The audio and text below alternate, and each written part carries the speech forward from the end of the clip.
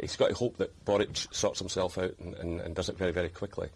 Uh, a player can, a goalkeeper can regain his form reasonably quickly. I know Alec Ferguson stood by Peter Schmeichel in, in the great season uh, when, when they won the, the treble at European Cup. Schmeichel had an absolute stinker uh, of the first six months in that season.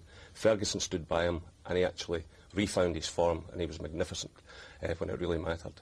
And Gordon Strachan's got to get this player sat down, try and just get inside his head and say to him, this club needs you, but you've got to show the commitment. We've given you a big new contract. OK, you might be disappointed you didn't get a move, but at the moment you're at Celtic and you've got to deliver.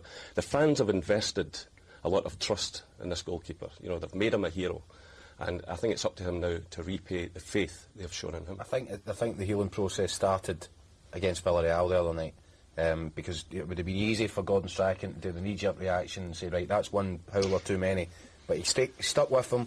Arthur Boruc looked concentrated on what he was doing. His kicking's not been great, but you know he made a terrific one-on-one save with Nihat when it looked as if you know the, the, the Turkish striker was, was odds on to score. It was that was Arthur Boruc at his best. The kind of saves that make him a special goalkeeper. The crowd responded to it, but he has to go and do it again this weekend, and he needs a big and error-free Old Firm performance. Because he does supply ammunition for his critics. Uh, the headlines tend to scream out um, whenever he does something he shouldn't. Um, I mean, he is a colourful character. I mean, Scottish football Yeah, would, would miss him if he, if he wasn't here. And it's a, a situation that I think Gordon has managed extremely well. I really do. I think that uh, certain individuals need their release. You know, I think if you look at some of the, the greatest footballers of all time, your Diego Maradonas of this world, you know, they, they all needed their, their release and they, they didn't lead their life in a particularly professional manner. And, uh, you know, I think only recently, since Arthur has made a couple of, uh, you know, unfortunate errors, you know, it has been highlighted. Because when he's good, Stephen, like Yeah. this, Yeah, Gordon- uh, he's very good. Of he, course he makes stunning he- saves. he's- Gordon's managed them extremely well. You know, he he, he uh, disciplines them like every other player. You know, he's no, he's he is treated. Uh, not no differently to any other player with regards the the club's discipline, but sometimes you have to give certain individuals that little bit of slack. As I said, your Maradonas, your Cantonas, your George Best. Yeah, but you've got to. I know, I, but I understand that. The problem comes when the errors begin. Exactly. That's when the problems come, and I understand that. And this is the difficult time to manage the situation.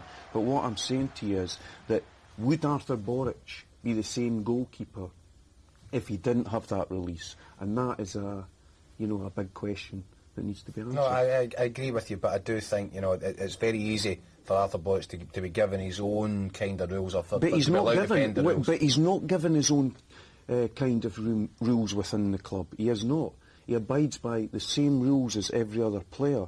But Well, sorry, I'll rephrase that then, Elvis. What I would say, well, what my, what, from what I hear, is he can be quite an argumentative sort in the dressing room. He doesn't go out of his way to curry favour with anybody, and there can be problems within the confines of the dressing room because he's he's very quick to criticise. Now that's fine. That is absolutely fine if you are, you know, ten out of ten week in week out, saving the team with world class saves. You no problem. You, you've got every right to say when you're actually throwing a couple in and yet you're still knocking away at your teammates. Uh, that's not a healthy situation, and you'll find, uh, certainly from you know previous experience, that these problems in the dressing rooms that he'll be cut.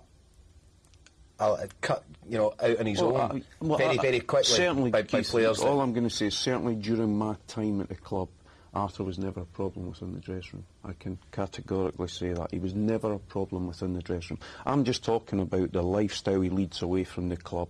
He abides by all the rules that Gordon sets, and if he doesn't, he's fined in And the same manner. While it doesn't intrude on his performances. No, that's, that's well, okay. yeah, people accept it. The problem you have now is, since he's made a couple of errors, that you know it's It becomes a talking it becomes point. a talking point. Yeah. And all I'm saying to you is, if you change that side of Arthur, do you lose the goalkeeper to a certain extent? And that is the big question. Yeah. And talking of rules, Keith, um, tis the season to be jolly.